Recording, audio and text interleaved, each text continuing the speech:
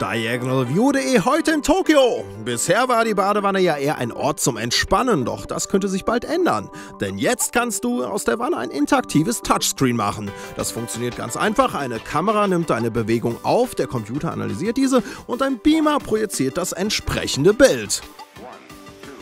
So kannst du in der Badewanne durchs Web browsen, Filme gucken und platschend Games zocken. Abgefahren, oder? Hier sieht man nochmal im Detail, wie die Bewegungen analysiert werden.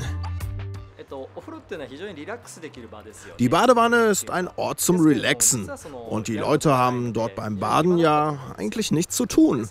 Also jetzt kann man locker ein Buch in der Badewanne lesen oder morgens schön entspannt die Zeitung und sich über das aktuelle Drama in der Welt informieren. あるいはその連続テレビとかを見たりしてですねでそれから出勤すると eine wirklich interessante Erfindung und insbesondere Kinder werden jetzt viel lieber baden wollen.